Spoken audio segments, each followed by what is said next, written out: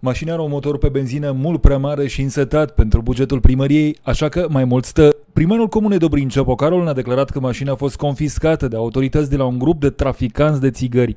Mașina a ajuns în cele din urmă în Dobrin prin repartiție guvernamentală. Primarul Ciopocarul a subliniat că nu știa că mașina are probleme tehnice, lucru pe care l-a constatat imediat ce i-a dat prima cheie.